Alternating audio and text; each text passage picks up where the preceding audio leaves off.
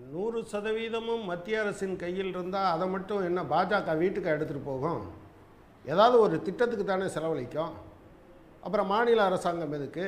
அப்புறம் உள்ளாட்சிகள் எதுக்கு? என்ன விதமான லாஜிக் இது? ஒரு ஒரு ஒரு கூட்டாட்சி தத்துவம் இருக்கக்கூடிய ஒரு நாட்டில் என்கிட்ட பணம் வந்ததுன்னா நான் அதை நேரடியாக கொடுக்குறேன். அப்புறம் அங்கே போய் நான் மா வருஷத்துக்கு ஆறாயிரம் கொடுக்குறேன்னு சொல்கிறது அந்த ஆறாயிரம் யாருடைய காசு?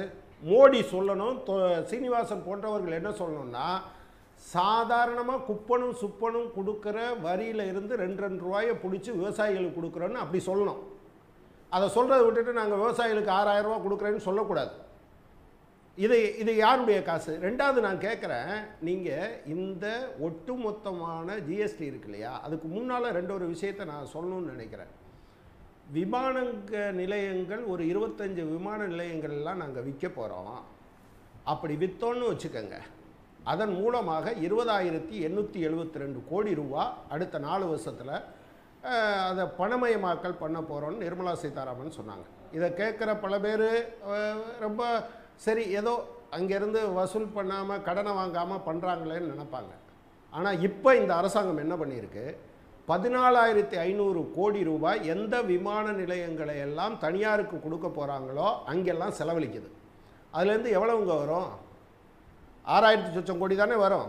இப்போ எவ்வளோ வந்திருக்குன்னு தெரியாது. ஒருவேளை ஆறாயிரத்தி சொச்சம் கோடியை விட அதிகமாக இருக்கலாம். எனவே வித்து திங்கிறது விற்பது இந்திய மக்களுடைய வரிப்பணத்தில் உருவான சொத்துக்களை விற்பது என்பதுதான் இவர்களுடைய நோக்கம். நான் என்ன கேட்குறேன்? உங்களுக்கு நேர்மை இருந்தால் நீங்கள் என்ன பண்ணுவீங்க?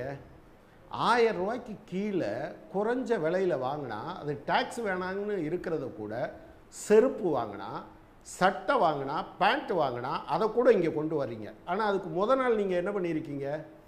ஒரு லட்சத்து நாற்பத்தி மூவாயிரம் கோடி ரூபாய் டெலிகாம் கம்பெனிஸுக்கு இது தொலைத்தொடர்பு துறையில். அதில் டெலிகாம்னால் எல்லாத்துக்கெல்லாம் கிடையாது. மூணே மூணு பேர் தான். பாரதி ஏர்டெல் ஒன்று ஜியோ ஒன்று வோடஃபோன். இது மூணு பேருக்கும் விட்டு கொடுத்தது மட்டும் ஒரு லட்சத்து நாற்பத்தி மூவாயிரம் கோடி ரூபாய். இதை என்ன சொல்லுவீங்க? அப்புறம் இந்த வாங்குகிற பணத்தை எல்லாம் நாங்கள் வச்சுக்கிறோம். ஏங்க ரெண்டாயிரத்தி இருபத்தி ஆறு வரை எதுக்காக இந்த செஸ்ஸும் சர்ச்சார்ஜும் போடணும்? நீங்கள் முதல்ல என்ன சொன்னீங்க? இதே இந்த பாஜக ஆதரவாளர்கள் மோடி ஆதரவாளர்கள் ரொம்ப தம்பட்டு அடித்தது என்ன சொன்னாங்கன்னா மாநிலங்களுக்கு நாங்கள் கொடுக்க போகிறோம் செஸ்ஸை வாங்கி நாங்கள் வீட்டுக்காக கொண்டு போகிறோம் அப்படின்னு சொன்னீங்க. ஆக்சுவலாக என்ன பண்ணியிருந்துருக்கணும்?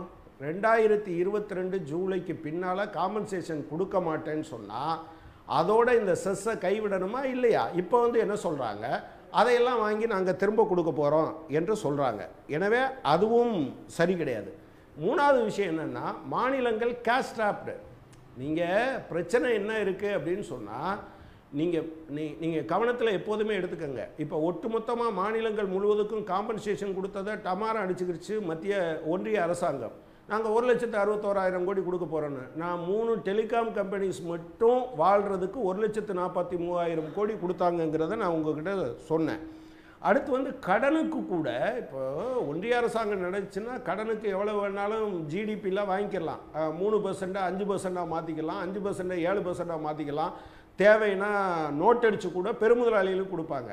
ஆனால் மாநில அரசாங்கங்கள் கடன் வாங்குவதற்கு கூட ஒன்றிய அரசாங்கத்துக்கிட்ட நீங்கள் தொங்கிட்டு நிற்கணும் அப்படி நிற்கும்போது ரொம்ப ஸ்பெசிஃபிக்காக நான் சொல்கிறேன் தமிழ்நாட்டில் மின்சார கட்டணத்தை உயர்த்தினால்தான் நீங்கள் வந்து மின்சாரத்துக்கு ஏற்கனவே கொடுக்குறேன்னு சொன்ன முப்பதாயிரம் கோடியில் உதய் திட்டத்தில் கொடுக்குறேன்னு சொன்ன முப்பதாயிரம் கோடியில் மின்சார கட்டணம் ஒரு ரிஃபார்ம் அதை உயர்த்தவில்லை என்கிற காரணத்தினால் ஏற்கனவே பதினாலாயிரம் கோடி கொடுத்துட்டு பதினாறாயிரம் கோடியை பிரித்து வச்சுருக்காங்க என்பதையும் நீங்கள் சேர்த்து பார்த்தீங்கன்னா அது தெரியும். எப்படி இதுக்கு எதிராக இருக்குது அப்படின்னு சொல்லி. நான் என்ன கேட்குறேன்? இது ஏழைகளை மட்டும் இல்லை. மிடில் கிளாஸை எப்படி திருடுவது? மிடில் கிளாஸ் பாக்கெட்லேருந்து எப்படி திருடுவது? நான் என்ன கேட்குறேன்? உணவுக்கு நீங்கள் வந்து டேக்ஸ் போடுறீங்கன்னா அதை கொண்டு போகிற ஆப் வச்சுருக்கவங்க அதில் இருக்கவங்களுக்கு டேக்ஸ் இது அல்டிமேட்டாக யார் கட்டுவா? அந்த நிறுவனம் கட்டாது. டேக்ஸுன்னு சேர்த்து போட்டு அதை வாங்கி கொடுக்க போகிறாங்க அது அங்கே தான் போக போகுது. இன்னொரு பக்கம் பார்த்தீங்கன்னா இறக்குமதி செய்கிற எண்ணெய்க்கு வரி குறைவு டேக்ஸ் குறைவு. ஆனால் உள்நாட்டில் உற்பத்தி செய்யக்கூடிய நான் கூட அதை வடக்கு தெற்குலாம் பார்க்கல. இது வந்து உள்நாட்டில் உற்பத்தி செய்யறதெல்லாம் ஒழிக்கிறது அப்படிங்கிறது தான் இவங்களுடைய நோக்கம். இதுல ரெண்டு விஷயம் திரு திரு திரு கனகராஜ். இதுல ரெண்டு விஷயம். ஒண்ணு வந்து பதினெட்டு சதவீதம் டாக்ஸ் தேங்காய் எண்ணெய்க்கு போடல அப்படின்னு சொல்லி ஸ்ரீனிவாசன் சொல்றாரு. அப்படி இல்லவே இல்ல அப்- அப்படின்றத சொல்றாரு. இன்னொரு முக்கியமான விஷயம் அஹ், நீங்க சொல்றது போல இந்த ஸ்விக்கி ஜொமேட்டோ போன்ற நிறுவனங்களுக்கு ஜிஎஸ்டி போடுறது வந்து புதுசா வரி விதிப்பு இல்ல. ஏற்கனவே உணவகங்கள் கட்டிக்கிட்டு இருந்தது இப்போ இந்த ஸ்விக்கி ஜொமேட்டோ போன்ற நிறுவனங்கள் கட்ட போறாங்க. ஏற்கனவே உணவகங்கள் கட்ட மறுத்துக்கிட்டு இருந்தாங்க. அதில் வந்து வரி ஏய்ப்பு இருந்தது. அதனால தான் இப்படி மாற்றிருக்கோம் அப்படின்றத சொல்கிறாங்க இது இது எப்படி மாறும்? நான் என்ன கேட்குறேன் உணவகங்கள் கொடுத்தா எல்லாத்துக்கும் தானே சர்வீஸ் டேக்ஸ் வரும். அங்கே போய் உட்காந்து சாப்பிட்றவருக்கும் வரும்ல. இப்போ இவங்க கொடுத்தாங்கன்னா என்ன ஆகும்? ஏங்க நான் அதைத்தான் சொல்கிறேன் நீங்கள் இந்த அதாவது பதினெட்டு சதவீதம் விதிச்சிட்டாங்களா இல்லையாங்கிறது இல்லை. ஏன் ரெக்கமெண்ட் பண்ணுறீங்கன்னு கேட்குறேன் அது ஏதோ ஒரு வானத்தில் இருந்து இறங்கி வந்தவர்கள் போல அவங்கள பற்றி பேசாதீங்க. நித்தி ஆயோக் சொன்னது தானே நான் சொல்கிறேன் நிதி ஆயோக்குக்கும் மத்திய அரசாங்கத்துக்கும் சம்மந்தம் இல்லைன்னு நீங்கள் சொல்லுவீங்க. ஆனால் நான் என்ன கேட்குறேன்னா இருபதாயிரம் கோடிக்கு விற்கிற விமான நிலையங்களில் பதினாலாயிரத்தி ஐநூறு கோடி ரூபா செலவழிப்பீங்களா? ஒரு எவனாவது பண்ணுவானா ஒரு கிராமத்தில் இருக்க ஒரு எந்த பொருளாதாரமும் தெரியாத ஆளு கூட தன்னுடைய வீட்டை இருபதாயிரம் ரூபாய்க்கு விற்கிறாங்கன்னா விற்கிறதுக்கு முன்னால் விற்க போகிறேன்னு செலவழிக்கிறதுக்கு முன்னால் சொல்லிட்டீங்க. இப்போ விற்கிற நேரத்தில் பதினாலாயிரத்தி ஐநூறு அது இந்த அது லீஸுக்கு விடுறோம் அதுக்கு விடுறோம்லாம் சொல்லுவாங்க. நீங்கள் வருமானம் இல்லை காசு இல்லைன்னு தானே இப்படி பண்ணுறீங்க எனவே உங்கள்கிட்ட நேர்மை இல்லைன்னு சொல்கிறேன் எனவே நீங்கள் பேசுகிற எதுலையும் நான் என்ன கேட்குறேன் ஏழைகள் நீங்கள் அங்கே அதை அப்படி ஷிஃப்ட் பண்ணுவீங்க. சரி நான் என்ன கேட்குறேன் ஆயிரம் ரூபாய்க்கு கீழே வாங்குற பொருளுக்கு நூறுரூவாய்க்கு செருப்பு வாங்குற ஒரு ஆள் இருக்கார் இல்லையா? அவர்கிட்ட எதுக்காக டேக்ஸ் போடணும்னு நினைக்கிறீங்க? அதனுடைய பொருள் என்னன்னா எந்த ஏழையும் இதிலிருந்து தப்பி விடக்கூடாது. சரி. உள்ளே போய் சாப்பிட்றவருக்கு டேக்ஸ் வந்துடும் மிடில் கிளாஸ் வீட்டிலேருந்து யாராவது வாங்கினா அவர் இதிலிருந்து தப்பி விடக்கூடாது. என்று நீங்கள் நினைக்கிற காரியத்தினால தான் அதை நீங்கள் பண்ணுறீங்க அப்படின்னு நான் சொல்கிறேன் சரி ஏழைகளும் ஏழைகளிடம் இருந்து இந்த மிடில் கிளாஸ்ல இருந்து நடுத்தர வர்க்கத்திடம் இருந்து காசை வாங்குறதற்கான முயற்சி அப்படின்றத நீங்க சொல்றீங்க. இந்த ஜிஎஸ்டி கவுன்சில் கூட்டத்தை நீங்க அப்படிதான் பாக்க ஒன்று ஒன்று ஒன்று அதே போல் அதே போல் இல்லை இல்லை இல்லை. அதே போல் மாநிலங்களிலிருந்து ஒட்டுமொத்த அதிகாரத்தையும் பறிக்கிற ஏற்பாடு அவர் என்ன சொல்கிறாரு நாங்கள் வந்து இதுக்கு தான் கொடுக்குறோம். ரோடு போடுறதுக்கு தான் அவங்க பிரித்து கொடுத்தாங்க. அது கொடுக்குறாங்க. ஏங்க அதுக்கெல்லாம் சேர்த்து தாங்க நான் வரி கொடுக்குறேன்.